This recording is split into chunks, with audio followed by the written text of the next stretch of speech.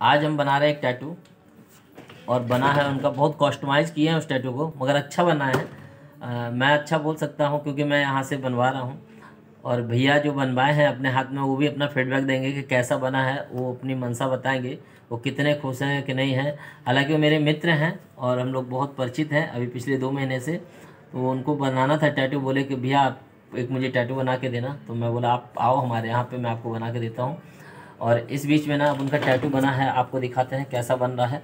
उसकी फिनिशिंग देख के आप बताना और उनके बात सुनते हैं कैसा उनको अच्छा लगा कि नहीं लगा वो भी बताएँगे। ये है उनका टैटू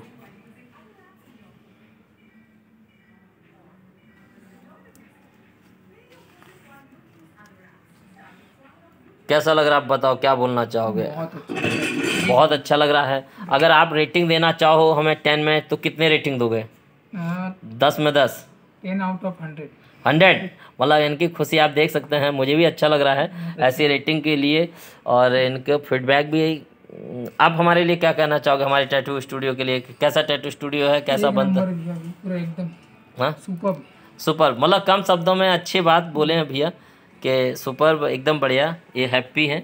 उनका टैटू देखिए बहुत खूबसूरत लाजवाब बना है इस पर क्रीम लगा है तो साइन करना शुरू कर दिया है। हालाँकि इसके आगे भी ये खूबसूरत दिखेगा। हम इसको पैक कर रहे हैं अब यहाँ पे। अब एक और वीडियो या फ़ोटो बनाएँगे हम। इस वीडियो को यहाँ पे एंड करके वीडियो बनाएँगे एक, आगे ताकि ये सारे लोगों को और छोटा शॉर्ट वीडियो बना के दिखा पाएँ और इनकी फिनिशिंग दिखा पाएँ, इनकी खुशी को आगे बता पाएँ। और मेरा टैटू स्टूडियो आप लोग देखिए। किसी को अगर राम भगवान के लिए टैटू बनाना है ना तो आप हमारे पास आइए। मैं श्री राम आपको वो बना के दूँगा कि आप बोलोगे हाँ श्री राम बना है हमारे लिए।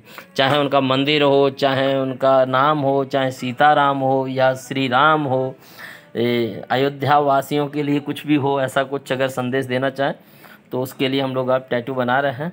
आइए, देखते हैं, मिलते हैं उन टैटुओं के साथ भी। चलिए, मिलते हैं नए वीडियो में। मैं इनकी फिनिशिंग दिखा रहा हूँ आपको और एक छोटा सा वीडियो और बनाऊँगा ताकि वो शॉर्ट वीडियो में डाल सकें।